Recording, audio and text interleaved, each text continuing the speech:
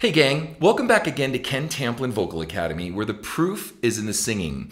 I am continuing a series that I think is really interesting, and the series is called Replacement Singers Who Did It Better? Now, in this case, I'm going to be doing Nightwish. And it may not be so much who did it better because it's just who did it different better and what was more appropriate for the time of the band and so forth. Now, before we get started, if you wouldn't mind, uh, please like and subscribe to my channel. That would be really cool. Don't forget to ring the bell so I can keep new uh, cool videos coming your way. I also have a singing course. I'm a master vocal coach, and uh, you can find it right here at kentamplinvocalacademy.com, where I have a singing forum also over there with over 25,000 singers all negotiating how to get great at singing.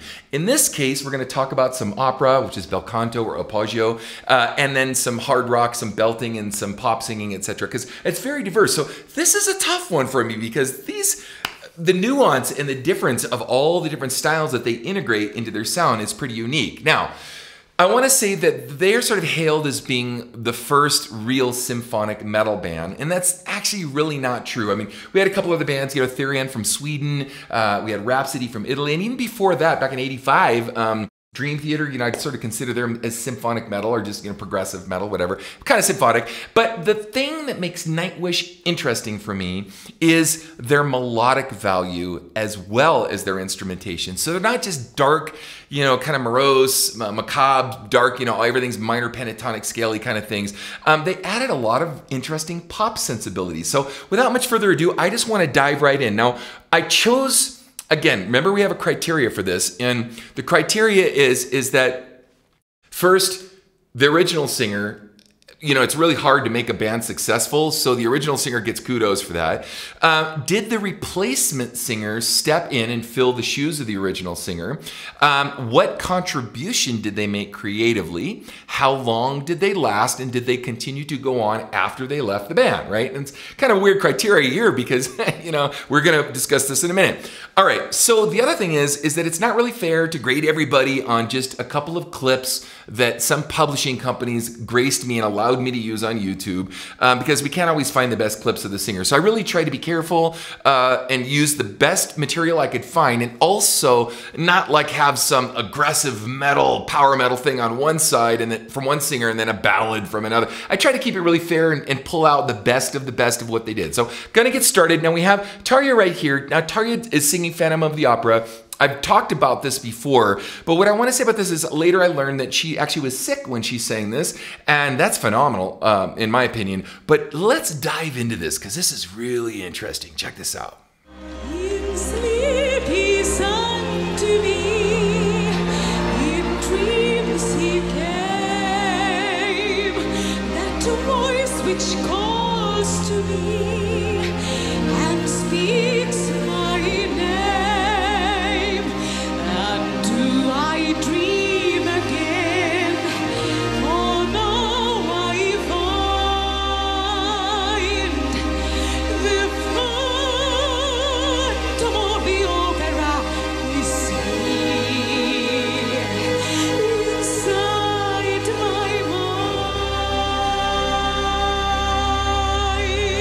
I'm going to stop there. Now, this is what makes this band so unique um, because symphonic metal comes from the word symphony, as we know.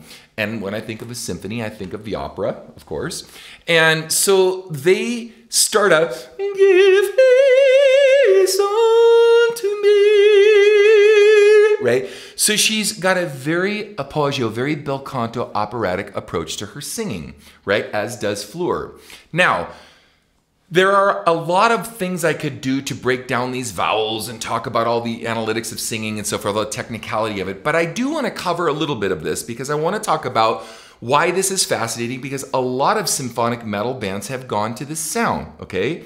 Most of the time, or typically, Metal bands have been notorious for belting, belting and wailing. And this is kind of the antithesis of that.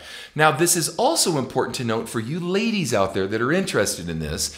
Back in the 1700s, 1800s, and early 1900s, the soprano was instructed not to belt in her upper mid register because most of the arias and things that were written for sopranos or for pieces that involved soprano's high C, which is called the C6, um, was you know relegated around not pulling up so much chest in a sound, focusing on their reinforced falsetto or their head voice sound in order to be able to free themselves up to get to the high C. What is the high C? So here is a tenor C right here.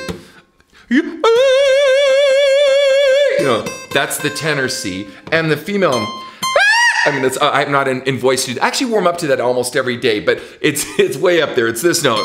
Okay. So so the goal for the soprano was to get to this note effortlessly and not over sing the lower mid voice in order to be able to accommodate that. So we hear that clearly here. And I don't know her operatic background. Obviously, she's had some training or at least delved into it quite a bit. And so you hear. You hear a lot of the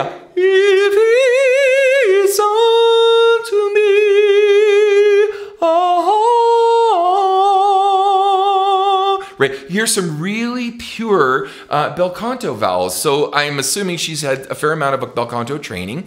And the other thing is, is that um, you're gonna find that she kind of mixes it up a little bit as we go with trying to integrate some belting and whatnot. And and I want to hear that. So let's check it out.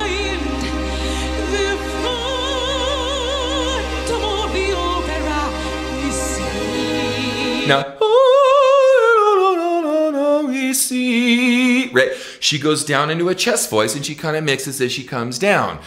I can hear some dysphonia in the chords, like she's had some sinus issues, and you can hear that coming through the mixed voice. And I don't have time to break all that down, but you can hear it. And so when someone said she was sick, that made sense. But I gotta say this, guys. I teach in my course and to everybody that we actually sing through colds and flu. Now, we don't give our best performances necessarily through colds and flu, but if we carefully and understand how to sing through colds and flu, we can maintain the quality, integrity, and stamina and whatnot of our voices so that we don't take two or three weeks off and then have to recover our voices, etc. It hums at about 70% capacity of our abilities, and then boom, is right back at 100% as soon as the cold and flu is gone. It doesn't, our voices don't go away and we get hoarse and lose them. So she, you can hear this as you're going through this. So.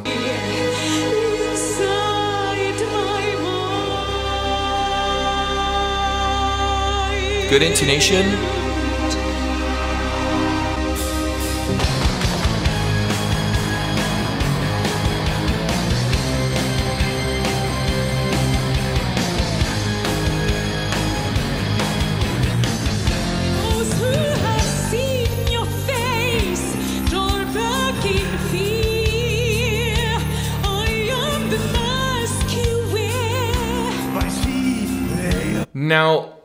Other thing about this that's a little odd for me as I'm going through this is this is a little more on the theatrical side of opera. It's not true bel canto, and of course bel canto is in Latin or in, in Italian, excuse me, and Latin.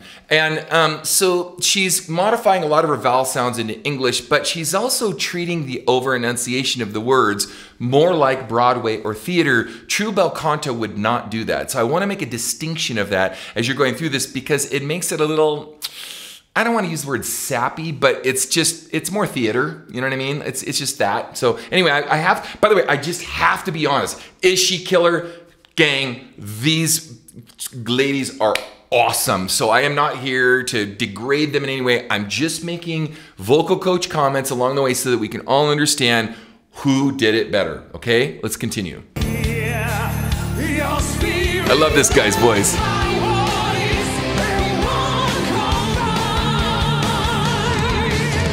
Now, what was interesting is as he as he brought in some chest, yeah, you know, some belting sound, he made her sound a lot tougher than she really is in this register. But it's cool because it was done tastefully and you know, it's just it's nice. it works.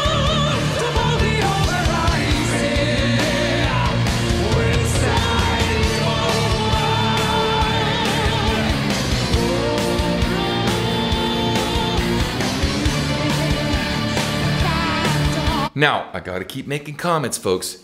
In the lower register, because most conductors, maestros, vocal coaches for opera, particularly for the soprano voice. And you ladies out there are going to really, really identify this. I want to be able to belt. I want to be able to have a powerful voice, a, a rock belting voice. You can hear that she has not developed this because she relies predominantly on her head voice, bringing her head voice down. And this is a typical thing that has been taught in Appoggio, in operatic uh, training, that they don't oversing the lower or mid voice sections because it's all about hitting this C6, this soprano high C. So they sacrifice at the altar um, their mid voice or their, uh, sorry about that, the mid voice. And what happens is, is that they have no power or strength, right? Because they never worked that part of their voice. Now she has some, and we're gonna get to that in a minute, but I have to point this out because who did it better? Let's check for this sound, and maybe this is better. Check it out. See, oh hi, everything's down here. See, and so, oh hi, right? She's going to be able to go up in her upper register and throw down pretty hard because that's where her voice starts humming and it resides with more power. But she, yeah, yeah. She can't do any of that because she's never developed that sound. Okay, very, very important. Let's continue.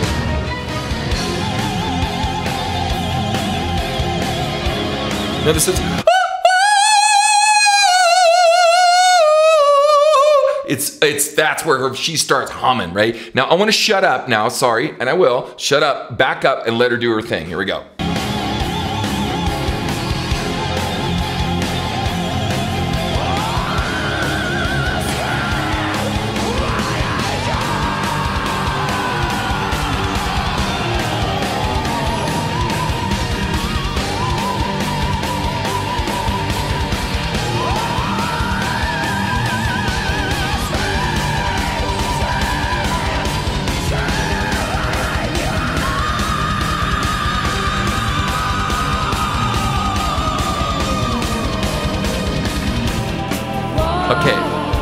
We get into it, now that was pretty killer, and I, and I would have loved to have pulled some Ghost Love Score and some other stuff into this.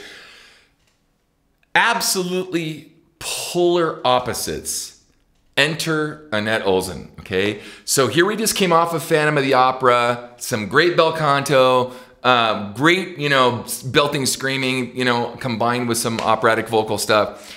And then, and then basically ABBA, the band ABBA walks in, right? And that's not necessarily a bad thing because this album is really good. In fact, I got to go as far as to say something. And you know, people may or may not like this and it's my opinion. I'm allowed I'm allowed to have it.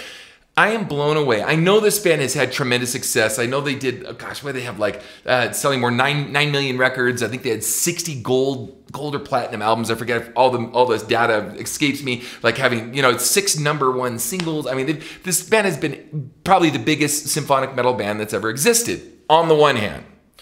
On the other hand, I don't think they've gone anywhere near the credit that they deserve because they've combined some of the toughest elements. Now think about this. So Everyone is expecting you to be tough, and you're coming from, you know, a a, um, a country that is, you know, really heavy, and there's some melodic stuff, but but you know, a lot of the really heavy, heavy metal stuff has come from the north, Sweden, you know, Norway, Sweden, Iceland, all these different places, and Finland in this case. But um, and so Europe in general, but um, all of a sudden you start combining this really, really melodic sound. So you got really heavy and real melodic, right? Check this out. Really interesting bedfellow.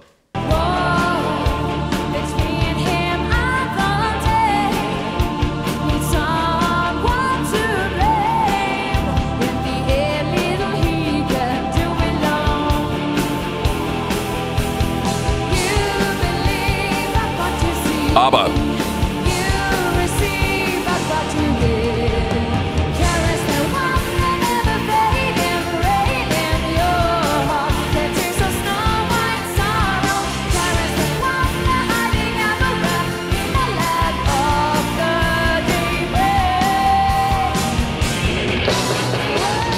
Okay, now I'm going to get to this in a minute.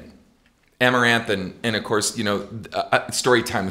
I, wish I had more time to do that because because I love Floor Jansen's version of story time. But um, anyway, and I didn't I didn't get a chance to put this on, so I encourage you guys to go out and really peruse through some of their stuff. My first impression on this was that she really can't sing live that great. She's a studio production. I'm sorry, Anette. I'm just being honest. Don't be mad. Your studio stuff was awesome. In fact, I think that's their best record. Was the records that you made, the music that you made with them. Um, so, from a melodic standpoint and a creative standpoint, again, we've got to do the criteria. What's what are our filters?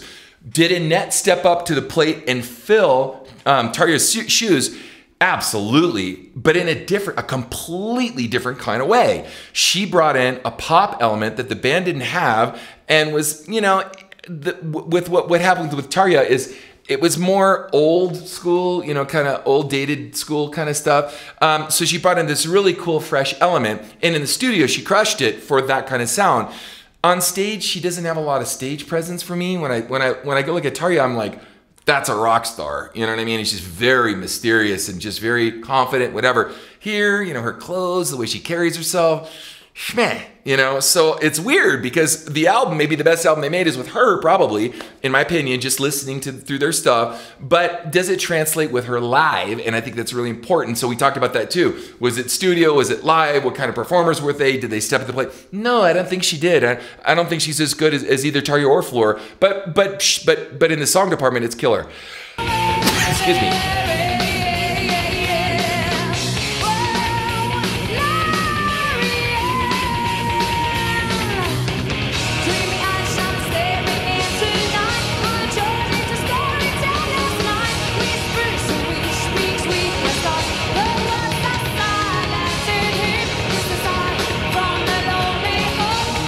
Mean, again, good stuff. But it kind of like, I feel like I'm looking at a rehearsal or something. I'm not getting any charisma out of that. I wish he'd hired a clothes designer, you know, or, or at least, you know, wardrobe director to come in. I wish they'd had some kind of choreographer to come in and, and show her where to stand, how to move, how to look, or she should have taken some pictures of herself. So I'm just not impressed at all with the live part of this. And the band's killer. Okay, now, wow. When Floor comes on the stage, and she just did, and we're about to hear some stuff, Floor comes on and she's got a lot of the elements of Tarja. And she's got a lot of the elements. Again, as I go through this, guys, you know, stay with me on this because I'm really trying to be fair about this. And I know there's a lot of love for Tarja, and and, and I'm sorry she's not in the band, and I know Anette's in the band. I'm, I'm sorry that, that that they went through member changes but maybe kind of for the better from a live standpoint because she combines both of the other two singers. She had a really tough gig. She had the, the, the most popular songs coming from an ABBA kind of sound, and then she had this operatic thing she had to fill. Wow, that's a big shoot. And then she's got to be able to look cool on stage and take that up a notch as well. Did she did she score? Let's check it out. Here we go. This is the end of it. Sorry.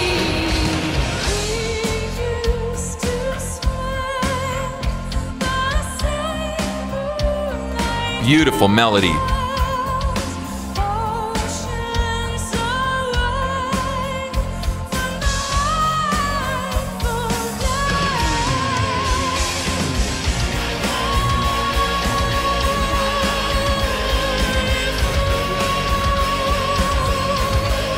Okay, now, remember we talked about how sopranos are trained, though she can belt, but she kind of chooses not to. Check this out. Let me go back a minute. Hold on a second. Let me just back this up. And I, am not going to overstate this and I'm not going to play any favorites, but I do want to point this out. It's really who's better, right? Check it out. End of a net. Sorry, it's my bad. Here we go.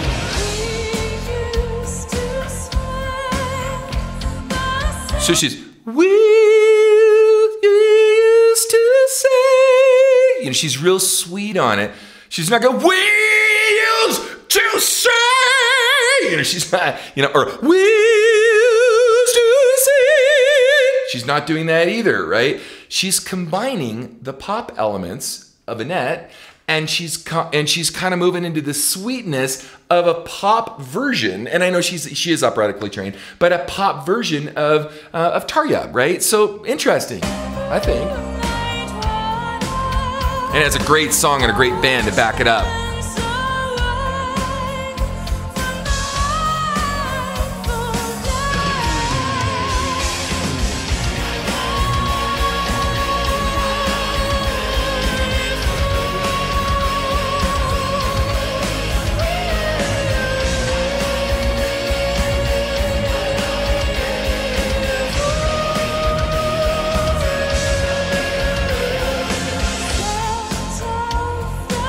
Cool, right?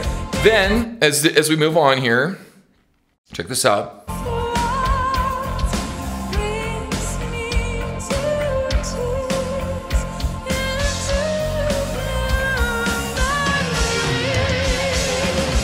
Cool. As she's standing there, she looks like a rock star. She's comfortable in her skin. She's not moving around much, though she does do that on story time. she's gonna get a whiplash from that. Anyway, um, so um, and and she's you know she's just got a lot of charisma, a lot of mystery, like Tarja. She had a lot of charisma, a lot of mystery. Cool stuff.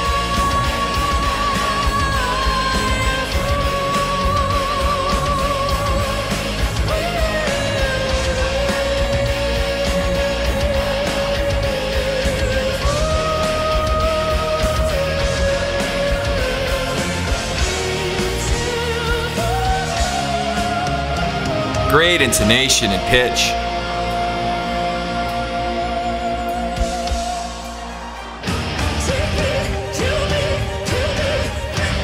Now, she's staying with that operatic thing, but then she does this.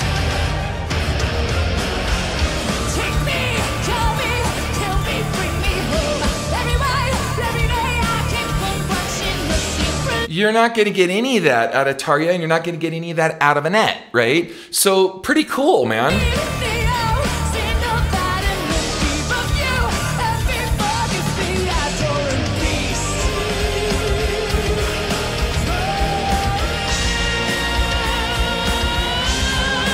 Now she's in a chest voice, a belted chest voice. Back to head voice.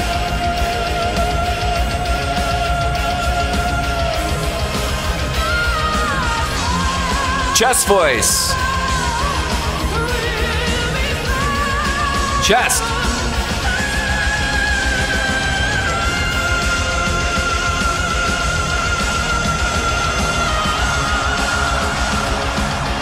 Yeah.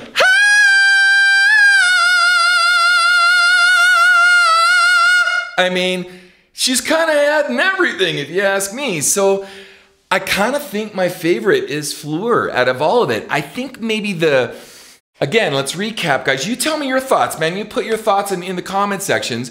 I would say Tarja for that blood curdling, goosebumpy feel, though that was pretty good right there at the end of Phantom of the Opera when Tarja was throwing down. I think I got more otherworldly charisma, energy, wow, goosebump factor from her, from Tarja. I think Anette gave me more pop sensibilities of catchy pop songs, though some of this stuff is absolutely incredible. Like I said, I wish I could play story time and stuff because there's some good stuff. And there's a lot. Look, Ghost Loves Score. I didn't get I didn't get a chance to go through all of this stuff, but I, I wanted to point this one out. But um, but I think for combining everything and for what the band needed and to bring all of that together, you tell me. I think I guess my personal favorite would probably have to be Floor, but I can't discount the rest. So I've got to trust on your guys' thoughts. You guys know way more about the band than I do, especially people are you know Nightwish, Nightwish uh, super fans. But anyway, I look forward to your thoughts and comments, and definitely check out my next video.